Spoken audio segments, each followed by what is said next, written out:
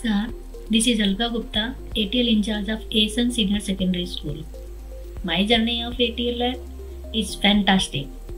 As I can see, my tiny children who are in 6th and 7th class may not be knowing about the scientific terminology of what they are using, like Arduino, sensors, working on 3D printers, but they are very nicely doing it. That's all because of the ATL Lab. Thank you so much.